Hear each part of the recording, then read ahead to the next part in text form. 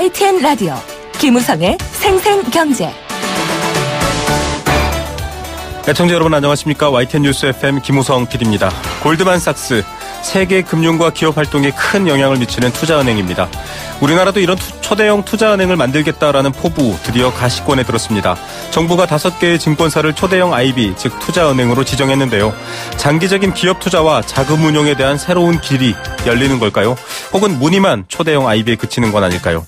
특히 개인 투자 참여가 가능한 발행어음 거래가 가능한 IB에 관심이 쏠리고 있습니다. 첫 번째 인터뷰에서 전문가와 함께 확인해 보겠습니다.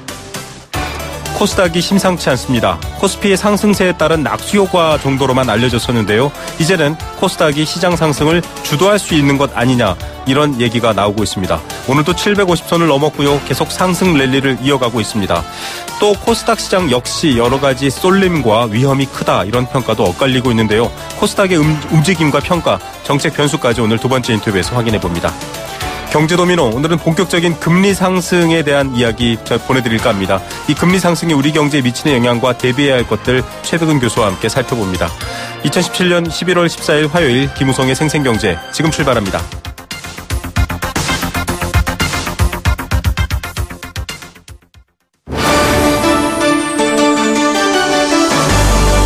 YTN 라디오 김우성의 생생경제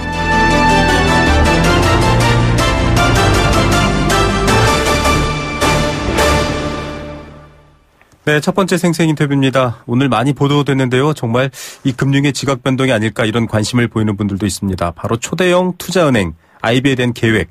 발표 1년 3개월 만에 본격적인 시동이 걸렸습니다. 금융위원회 자기 자본 규모가 4조 원이 넘는 5개 증권사를 초대형 IB로 지정했고요. 투자은행으로 지정했고 한국판 골드만삭스를 만들겠다 이런 의지를 보였습니다. 일단 정부는 이 초대형 IB들의 발행어음 등 단기 금융 업무 또 새 자금 조달을 주는 어, 새 자금 조달 수단을 주는 대신에 혁신기업 벤처기업에 대한 투자도 유도했습니다. 과연 제 역할을 할까요? 또 아직은 좀 낯선 개념인데요. 어떤 것들이 있을지 위험하진 않을지 궁금하신 부분 많을 것 같습니다. 전문가 연결해서 관련 얘기 나눠보겠습니다. 자본시장연구원 황세훈 자본시장실장 전화로 연결합니다. 실장님 안녕하십니까? 네, 안녕하세요. 네, 좀 낯선 분들도 많아요. 골드만삭스라면 많이 들어보셨을 텐데 네네. IB 우리나라에 드디어 문이 열렸는데 어떤 겁니까? 좀 설명 부탁드릴게요. 네, 일단 투자은행이라는 용어 IB에 대한 용어부터 설명을 드려야 할 것 같은데요. 네. 어, 투자은행은 장기 자금을 조달해서 기업에 장기 자금으로 공급하는 역할을 담당하는 금융회사를 말합니다. 보통 우리가 이제 은행이 네. 일반 대중으로부터 예금을 받아서 주로 단기성 자금을 기업에 공급하는 역할을 맡고 있는데 네. 투자은행은 자본시장에서 자금을 조달해서 장기성 자금으로 기업에 공급한다는 그런 차이가 있죠. 네. 초대형 투자은행 같은 경우에는 이제 투자은행 중에서도 자기 자본이 4조 원 이상인 증권사를 의미하게 되는데 증권 인수나 기업 금융 업무에는 이제 다양한 위험 요소가 포함되어 있거든요. 특히 장기로 네. 가면 갈수록 더 그렇습니다. 따라서 자본력이 크면 그만큼 안정적인 업무 수행이 가능하기 때문에 특별히 자본력이 큰 증권사에 대해서 초대형 IB의 지위를 부여하게 되는 것이죠. 네.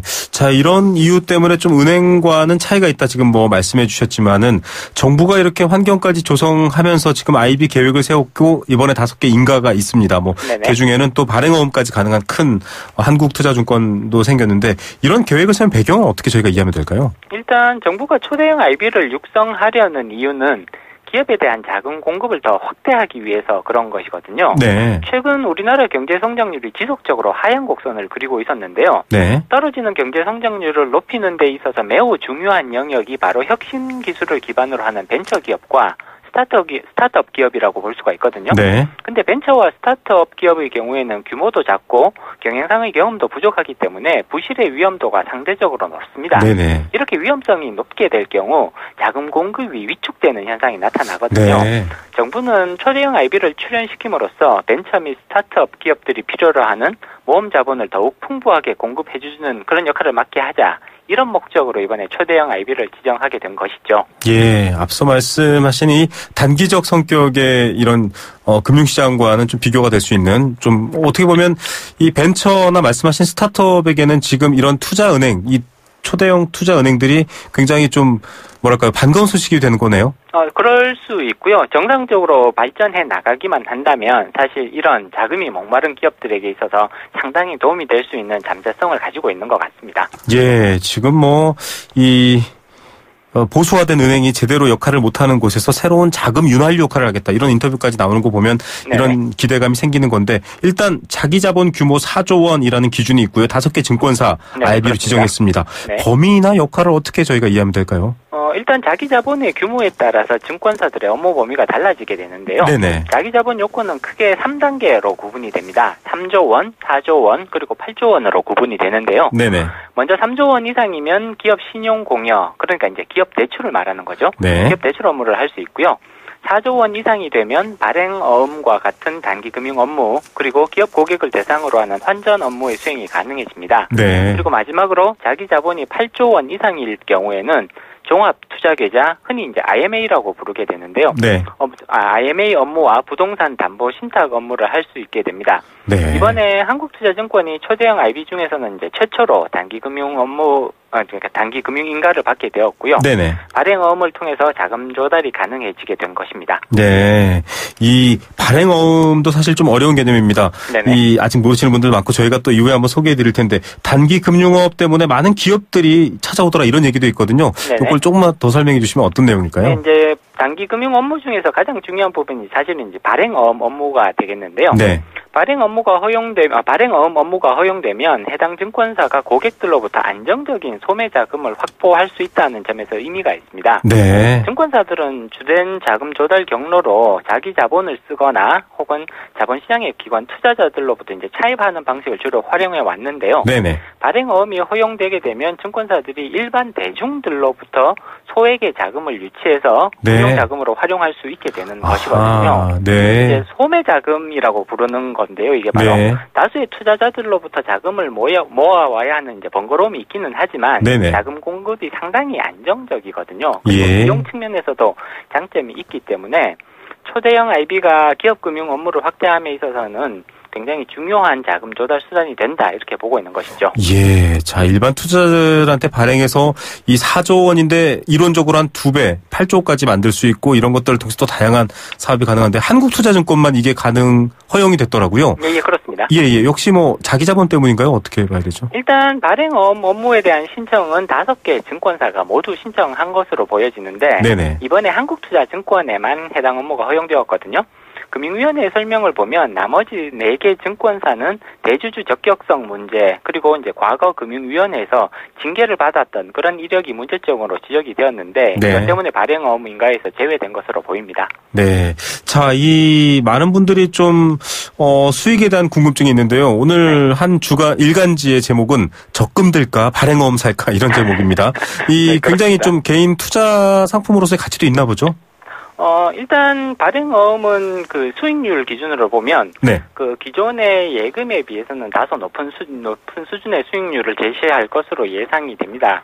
현재 발행어음은 예금자 보호가 주어지는 상품은 아니거든요. 네. 투자자분들도 사실 이 점은 분명히 이해하신 후에 의사 결정을 내리시는 것이 중요한데요. 네네. 예금자 주 어, 보호, 예금자 보호가 주어지지 않기 때문에 수익률은 예금보다 더 높게 형성될 것으로 보이고요. 네. 현재 발행어음의 수익률은 1.8%에서 1.9% 근처에서 형성될 것으로 시장은 예상을 하고 있거든요. 네. 1년 만기 RP 금리가 보통 1.1%에서 1.2% 수준 정도 지금 현재 관 찰이 되는데 네네. 그러면 상당히 높은 수준의 수익률이라고 볼 수가 있습니다. 네. 물론 이제 최종적인 판단은 개별 투자자분들이 하시는 거죠. 네. 위험 추구 성향에 따라서 예금자 보호가 훨씬 중요하신 분들은 이렇게 꽤 높은 수익률이 제시가 된다고 하더라도 사실 선택을 안 하실 가능성이 충분히 있고요. 반대로 위험 추구 성향이 조금 있으신 분들은 충분히 고민해 볼 만한 사안이 아닐까 그렇게 판단이 됩니다. 예. 자, 이제 뭐 문을 여는 단계고요. 해외 이 IB 전문 은행의 관계자들도 좀 한국이 프리미엄 브랜드 내놨으면 좋겠다 기대도 나오는 상황인데 아직 뭐 문을 여는 상황에서 잘 모르겠지만 이 증권사가 자기 자본 갖고 이런 사업을 하는 것 자체가 좀 성공할 수 있을까? 실효성이 가능 있을까? 이런 지적들도 있던데 이런 부분들은 어떻게 보십니까? 일단 초대형 IB의 지정 자체가 성공적인 초대형 IB의 출, 어, 출연 뭐 이런 것들을 보장하지는 않습니다. 네. 그렇기 때문에 어떻게 보면 이건 어떻게 이제 첫 발을 내디딘 정도의 의미를 부여해야 해야 되는 것이고요. 네. 사실 초대형 IB가 성공을 하기 위해서는 해당 증권사가 굉장히 많은 여러 가지 모습들을 갖춰주는 게 필요하거든요. 네. 사업 모델을 개발을 하고 그다음에 기업 분석을 갖추기 위해서 아, 다방면의 투자를 늘려가는 모습들을 좀 보여줘야 됩니다. 네네. 우리가 초대형 IB에게 기대하는 바는 사실 모험 자본의 공급을 확대해서 벤처 네네. 기업들을 도와주라는 거거든요. 네. 근데 이렇게 하기 위해서는 자금 조달 경로로 조금 다양하게 확보를 해야 되는 거고요. 그리고 기업에 대한 평가를 정확히 할 수 있도록 기업 분석 능력을 확보하는 것이 대단히 중요합니다. 네. 따라서 초대형 IB가 이런 측면에서 성실히 준비하는 모습을 보여주면 그렇게 된다면 이제 성공적으로 초대형 IB들이 발전할 수 있는 그런 모습도 우리가 기대해 볼 수 있는 것이죠. 예.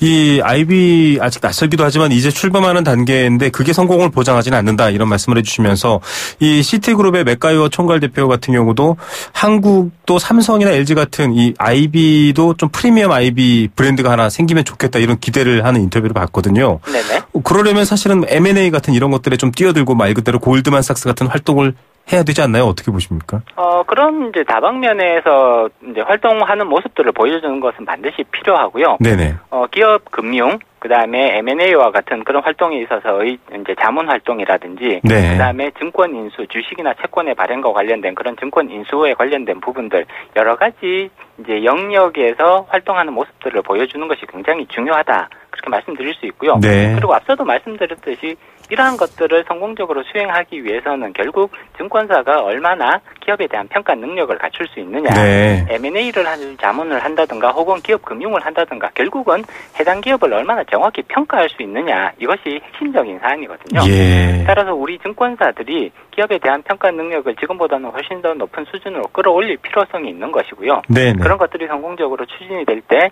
어, 성공적인 IB도 출연할 수 있다 이런 말씀을 드릴 수 있겠죠. 예, 이런 새로운 어떤 이 금융 지각 변동의 어떤 성공 요소까지도 한번 짚어봤고요.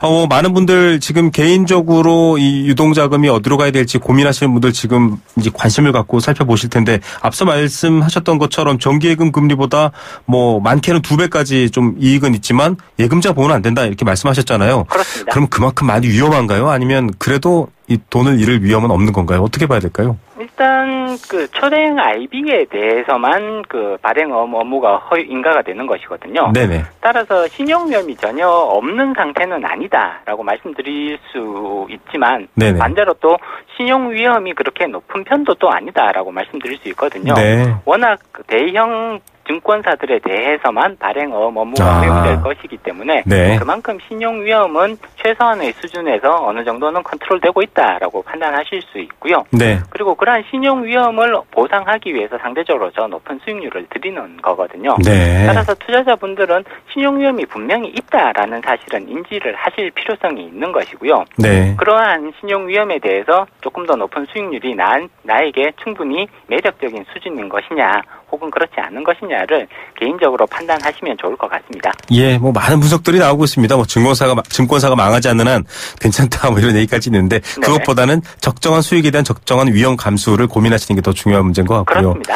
예, 뭐 이렇게 좀 나오다 보면 결국은 또 관심이 높고 앞서 말씀한 한국투자증권처럼 이런 이 발행어음이 가능한 쪽으로 좀 쏠리거나 이런 좀 양극화가 나타나지는 않나라고 하는데 다섯 개 뭐 다 잘 되면 좋겠지만 이런 부분은 어떻게 봐야 될까요? 그냥 감수해야 될 부분일까요? 일단 그 양극화 현상은 오히려 향후에 조금 더 심, 어, 그, 더 커질 가능성들이 시장에서는 제기가 될 수 되고 있고요. 네, 초대형 IB의 출범에 따라서 증권업계가 초대형 IB 중심으로 재편될 가능성은 오히려 더 큰 것이 아니냐 아. 그런 전망들이 많습니다. 네, 외국의 사례들을 살펴보면 증권업이 대규모 자본력을 가진 몇 개의 초대형 IB에 의해서 견인되고 있음이 관찰이 되거든요. 네네, 우리나라의 경우에도 향후 증권업계가 유사한 방향성으로 발전할 가능성이 오히려 더 높아 보이고요. 네, 초대형 IB가 시장의 흐름을 주도하고 그리고 중소형 증권사들이 틈새 시장을 공략하는 이러한 방향성으로 발전할 가능성이 오히려 높아 보인다 그렇게 예상이 됩니다. 예, 자 전체적인 흐름 또 성격 한번 짚어봤고요. 저희가 또 이 출범 이후의 변화 과정에 한번더 모셔서 말씀 듣겠습니다. 네네. 오늘 말씀 감사드립니다. 네, 감사합니다. 네, 자본 자본시장 연구원 황세훈 자본시장 실장이었습니다. YTN 라디오 김우성의 생생경제. 네, YTN 라디오 생생경제 애청자 여러분들께도 문을 열어두고 있습니다. 함께 생각해보고 함께 이야기 나누는 경제 공감사전 코너 통해서인데요. 여러분들의 의견 보내주십시오. 단문 50원, 장문 100원의 정보 이용료 부과되는 샵 0945번, 우물정 0945번, 문자 메시지는 유료고요. 스마트폰 애플리케이션 예스는 무료입니다. 참여해주시면 추첨을 통해서 도심 속 꿈의 놀이터 일산 원마운트에서 워터파크 스노파크 이용권 선물로 보내드리고 있습니다.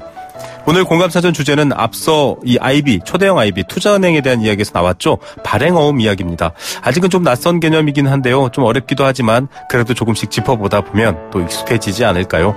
발행어음, 종합금융회사가 자금을 조달하기 위해서 스스로 발행하는 자기 발행어음 중에 하나입니다. 자발어음 이렇게 불리기도 하는데요. 저축, 저축 상품처럼 개인이 투자용으로 살 수가 있습니다.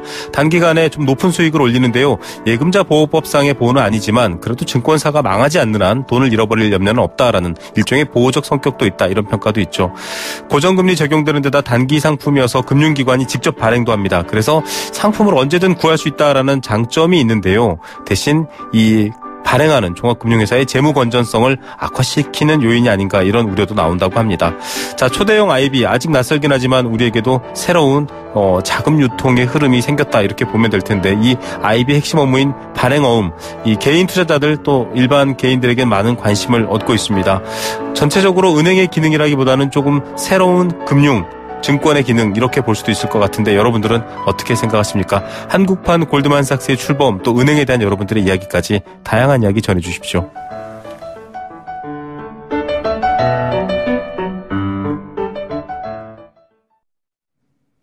네, 생생경제 포스코와 함께했습니다. 캠페인 하나 듣고요. 이 시각 주요 경제 뉴스 정리해드립니다.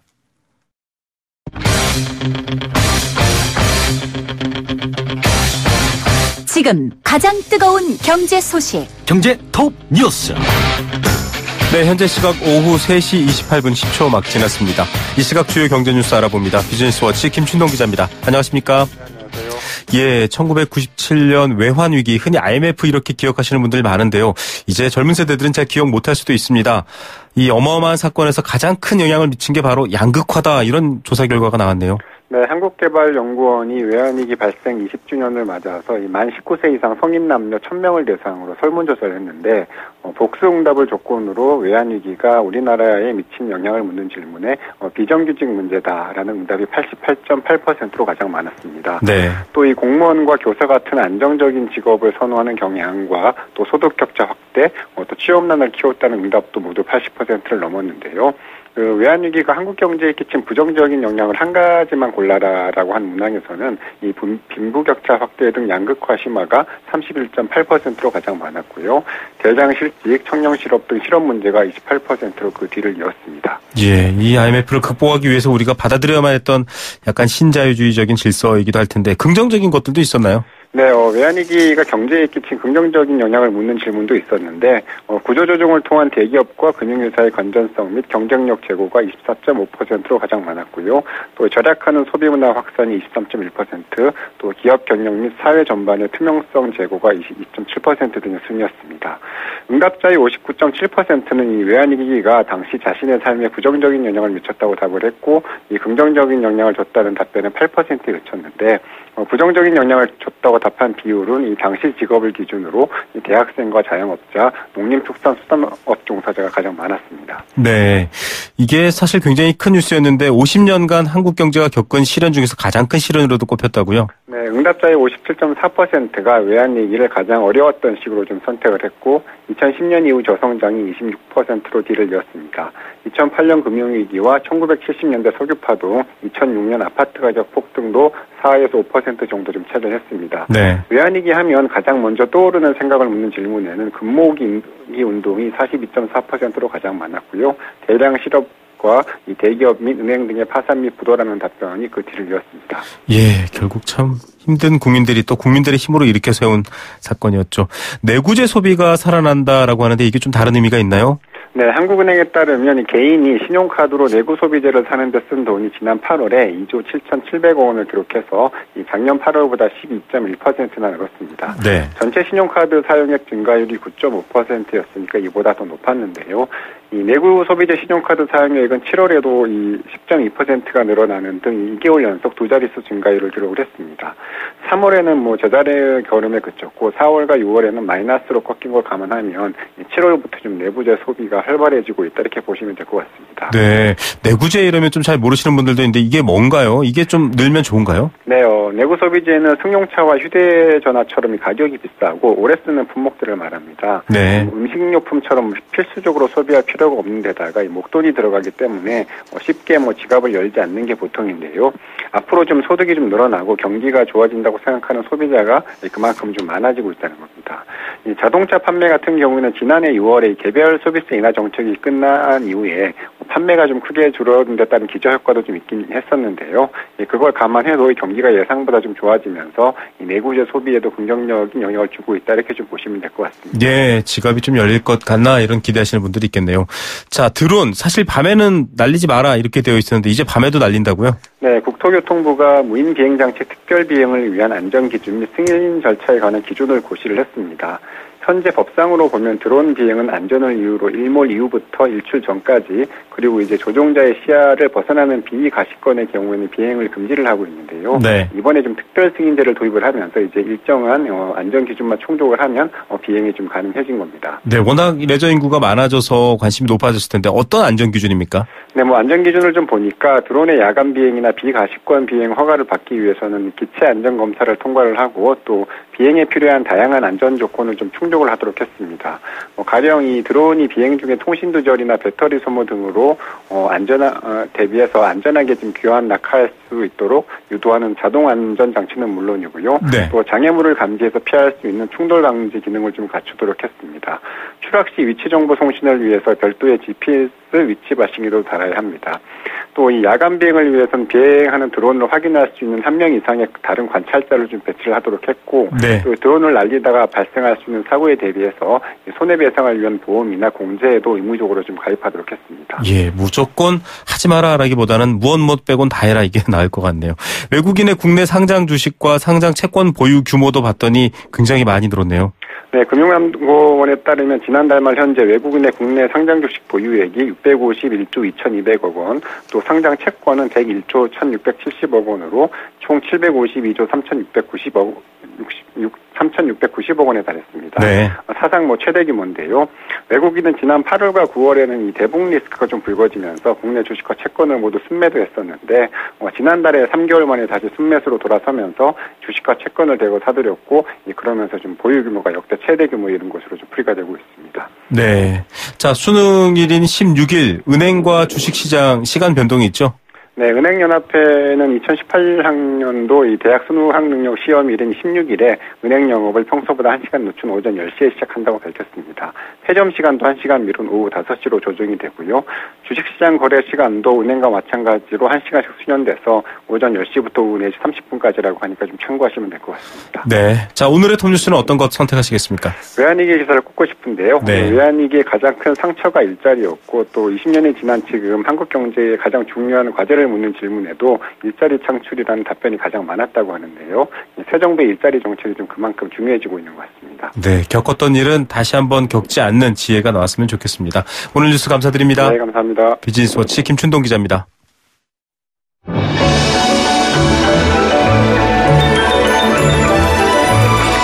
오늘의 경제를 들여다보는 시원한 창.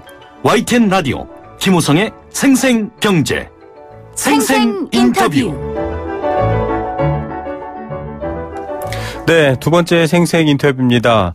이 증권 호- 포털 홈페이지의 증권 페이지를 열어보면 이제 증시 상황이 색깔로 표시가 되죠. 떨어질 땐 파란색, 오를 땐 빨간색인데요. 코스닥은 여전히 빨간색입니다. 코스닥만 빨간색인데요. 국내 기관 투자자들의 순매수에 힘입어서 코스닥 지수 급등하고 있습니다. 5일째 상승 랠리, 상승 기류다 이렇게 얘기가 나오고 있고요. 27개월 만에 400, 740선을 탈환했다 이런 기사들까지 나왔습니다. 코스피의 상승세에 따른 낙수 효과 아닌가 이런 얘기부터 시작해서 이제는 코스닥이 계속 상승 흐름을 이어가서 시장을 주도할 거다 이런 얘기도 나오고 있습니다. 뭐 여러 가지 특정주 쏠림 현상까지 우려되고 있는 상황인데요. 이렇게 코스닥이 지금 상승하고 있는 배경은 무엇인지 또 앞으로 전망 어떻게 흘러갈지 고려해야 될 점은 무엇일지 전문가와 이야기 나눠봅니다. 하이투자증권 박상현 투자전략팀장입니다. 팀장님 안녕하십니까? 예, 안녕하십니까? 네, 자, 한 경제지에서는 뭐 27개월 만에 탈환 이런 표현까지 썼는데요. 지금 코스닥 어떤 상황입니까? 예, 최근 주식시장 흐름을 보면 코스닥, 아, 코스피 지수는 11월 들어 거의 조정 흐름을 보이고 있는 반면에 코스닥 지수는 랠리가 지속이 되면서 11월 들어서만 약 거의 한 9% 가까이 상승을 했습니다. 특히 오늘 코스닥 지수는 거의 760선까지 이제 다가서면서 말씀하신 대로 한 2년 3개월 내 최고치를 기록했고요. 네. 특히 이제 주목되는 거는 거래 대금입니다. 상반기에 이제 코스닥의 일평균 거래 규모가 한 3조 원대에 불과했는데 네. 오늘 같은 경우 거래 대금이 이제 7조 원대에 육박을 했고요. 특히 이제 코스닥 거래 규모가 오늘은 이제 코스피 거래 규모를 이제 넘어서면서 전체적으로 코스닥 열풍이 아닌가 하는 정도의 어떤 거래 규모를 좀 보여주고 있습니다. 네, 자 코스닥 열풍까지 생각할 만한 이야기다라고 했는데 그건 좀 배경을 봐야 될 것 같습니다. 이렇게 지금 인기를 모으고 있는 또 이 상승하고 있는 배경, 새 정부가 여러 가지 좀 관련 정책, 뭐 벤처라든지 이런 코스닥 주요 상 어, 종목에 대한 좀 투자 계획 이런 것들을 밝혀서 그런 건가요? 어떻게 봐야 됩니까? 예, 뭐 말씀하신 대로 정책 기대감이 일단은 크게 작용한 것 같습니다. 그러니까 이제 문재인 정부 들어와서 이제 소위 소득 주도 성장론이 이제 좀 주목을 하다가 최근으로서 이제 정부가 이제 혁신 성장론을 이제 강조를 하면서 네. 그 수혜를 코스닥 시장이 이제 보지 않겠느냐는 이제 기대감이 좀 확산이 되고 있는 것 같습니다. 특히 이제 지난 2일날 이제 기획재정부에서 혁신 정 성장 추진 전략을 이제 발표하면서 이제 벤처 투자 활성화라든지 또 연금 연기금의 이제 코스닥 투자 확대 뭐 이러한 것들을 좀 발표하면서 코스닥에 대한 투자 분위기가 상당히 좀 고조가 된 것 같고요. 네. 저희가 이제 이전에도 보게 되면 이제 김대중 정부 시절에 이제 벤처 투자라든지 이런 것들을 결국 이제 정부가 적극적으로 장려를 하면서 결국 코스닥 시장 자체가 상당히 붐을 이뤘던 이제 경험 자체가 최근에 이제 코스닥 열풍을 조금 촉발시키는 것 같고요. 네. 거기에 이제 한 가지 더 붙인다고 하면 뭐 한중 정상회담 개최 이후 이제 사드 리스크 완화 기대감 자체도 네네. 코스닥 랠리의 또 다른 원인으로 지적할 수 있을 것 같습니다. 네, 여러 좀 긍정적 요소가 그대로 반영됐다라고 볼 수 있을 텐데, 어, 코스닥 내에서도 우량 중소형주에 대한 관심도 커지고 있습니다. 좀 코스닥 내부를 들여다봐야 될 것 같습니다. 주로 뭐 지금 어떤 것들이 굉장히 이 상승을 끌고 가고 있다 이렇게 봐야 되나요?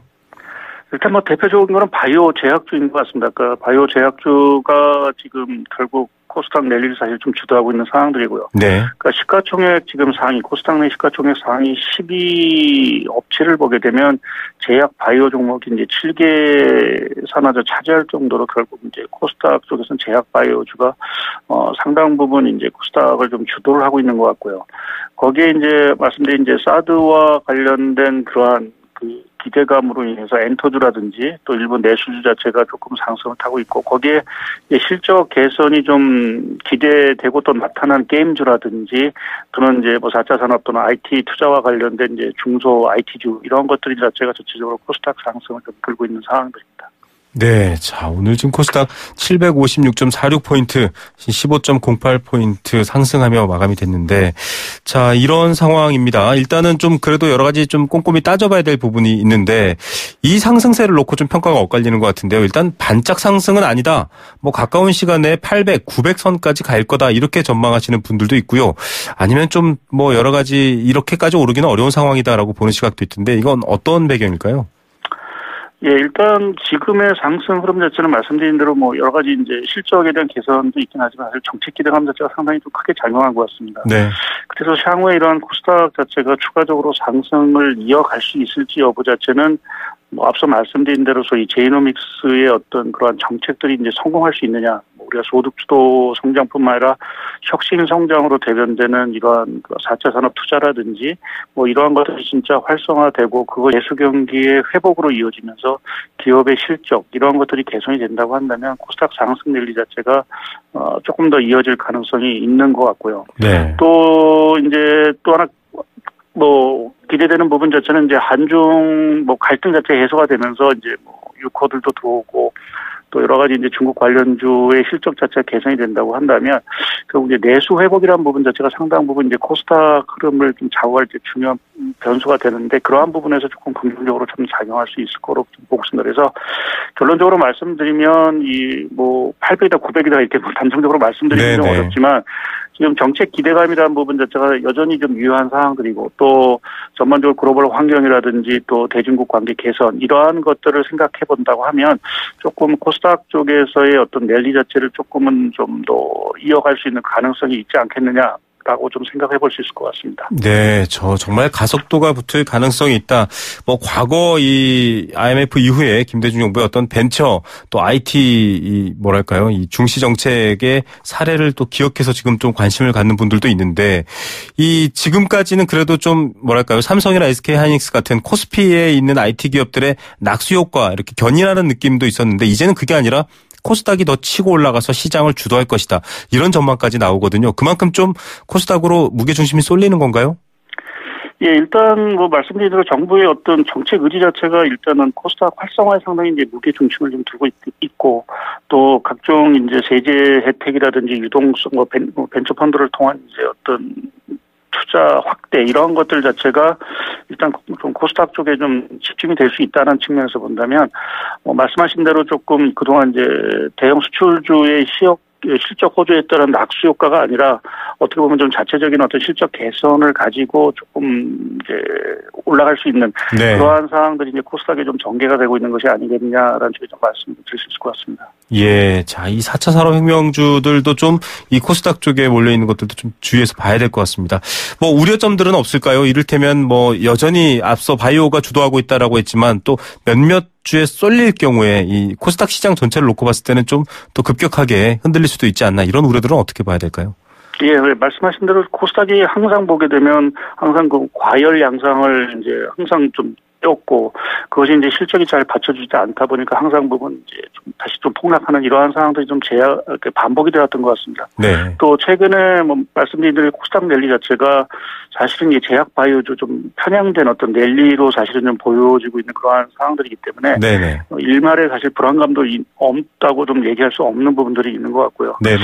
결국 관건은 결국 코스닥에 있는 이제 기업들의 실적이 진짜 과연 개선이 되느냐라는 부분이 가장 중요한 건데 사실 이 코스닥 기업들 자체는 뭐 수출 이러한 흐름보다는 사실 소비 내수 경기 회복에 상당 부분 크게 좌우된다고 보겠습니다. 그래서 네. 향후에 이제 그 제이노믹스 이러한 것들을 통해서 과연 내수 경기가 진짜 회복이 될 수 있느냐라는 부분 자체가 이번에 코스닥의 어떤 랠리 자체가 조금 과열이 아니라 조금은 실적의 바탕도 랠리로 좀 이어질 수 있을지 여부를 판단한 중요한 잣대의 역할을 할 것 같습니다. 예, 정말 이 수출 중심의 기존 경제 구조가 아닌 것들의 어떤 새로운 수혜가 이 지속세를 보장할까 말까를 판단할 수 있을 것도 같은데요. 일단 금리나 유가도 지금 좀 변화하고 있는 상황입니다. 상승하고 있는 국면인데 어떻습니까? 코스닥 관련 기업들 같은 것들 따져봤을 때 어, 장기적인 전망은 어떻게 평가하십니까? 또 좀 투자자들 조심해야 될 부분들은 없을까요?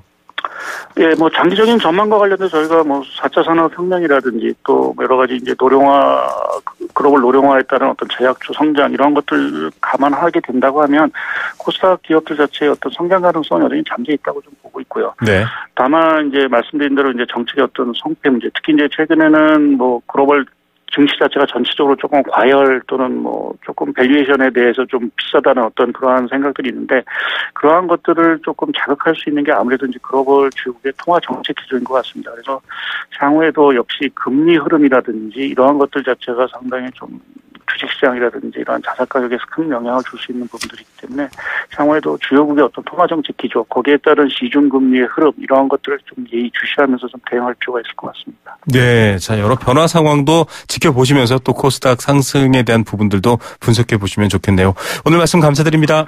예, 감사합니다. 네, 하이투자증권 박상현 투자전략팀장이었습니다.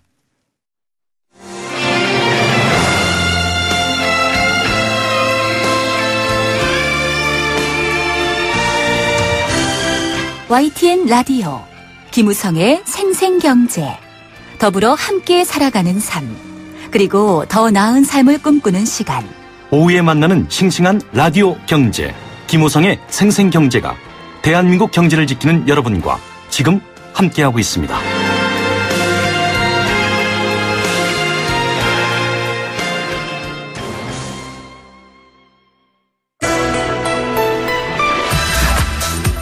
세계 경제가 내 주머니 속으로 경제 도미노.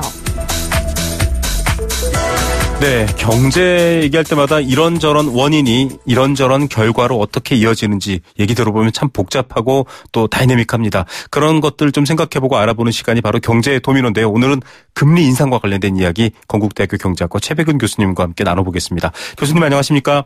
예, 안녕하세요. 네.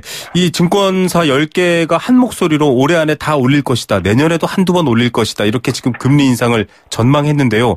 뭐, 당장 일반 서민들에겐 반가운 소식은 아닌데, 이 금리 인상 전망 교수님 어떻게 평가하십니까? 예, 제가 이전에도, 어, 한은일이니까 11월 달에 금리 인상하는 것이 바람직할 것이다. 이런 얘기를 한 적이 있었고요. 네네.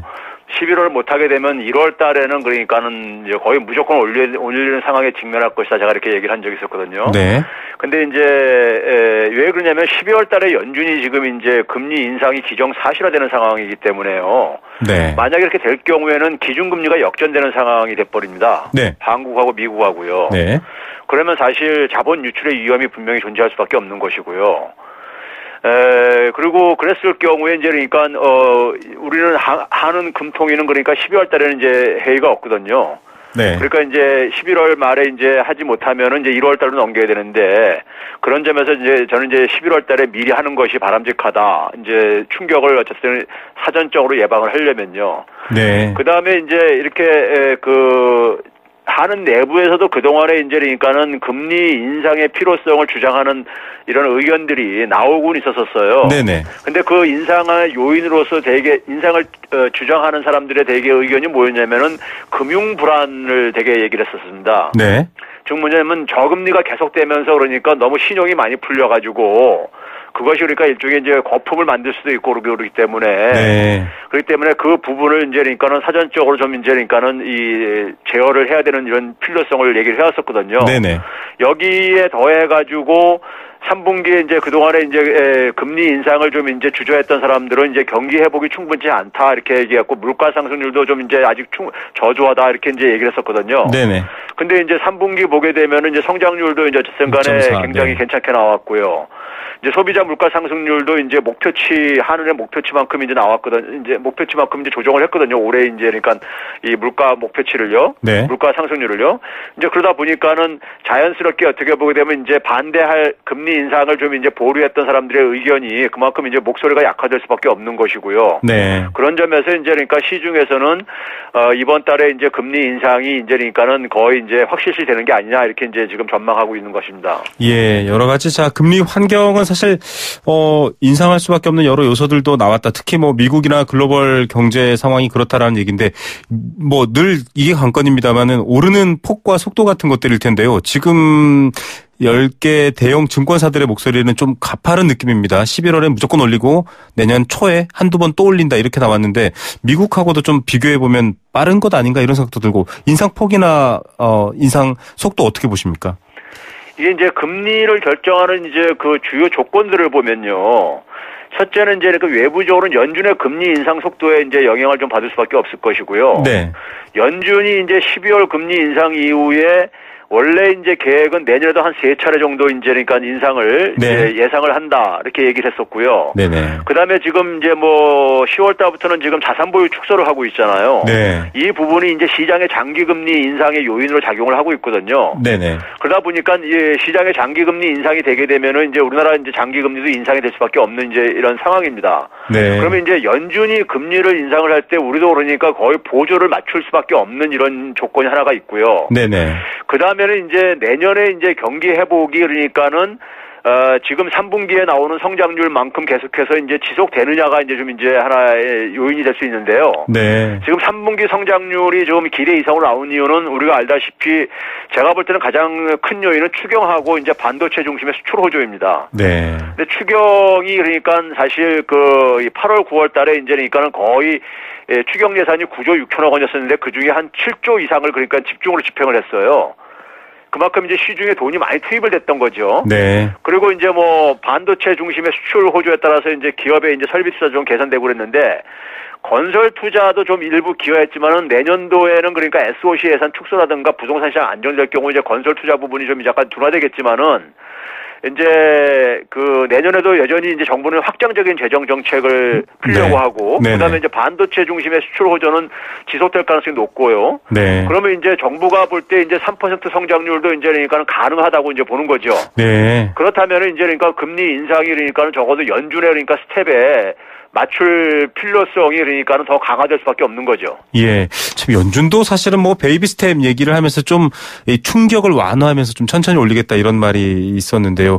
여러 가지 상황을 좀 볼 때 결국은 어 금리를 올리는 상황, 그러니까 올려야 하는 경제적 상황이 만들어졌다 이렇게 최종적으로 판단 할 수 있다 이렇게 보십니까? 어떻게 보십니까? 예, 그렇습니다. 일단 거시경제 지표상이라든가 그다음에 이제 그 연준의 통화 정책은 일단 인상이 불가피한 상황으로 이제 그러니까 이렇게 형성되고 있는 게 있는데요. 네, 네. 문제는 저는 있잖아요. 좀 다른 데 있는 게 네. 에, 이 현재의 경기 회복이라는 것이 즉 성장률 개선이 대부분 국민들의 경제 상황 개선으로 이어지지 않는다는 점에 이제 문제가 있는 겁니다. 네, 네. 그러니까 이제 이 성장률이 좀 이제 그러니까는 2.8% 3.0%로 상향 0.2% 포인트가 좀 이제 상향됐을 때 그 혜택을 그러니까 전체 국민들이 다 평균적으로 보는 건 아니란 말이에요. 네.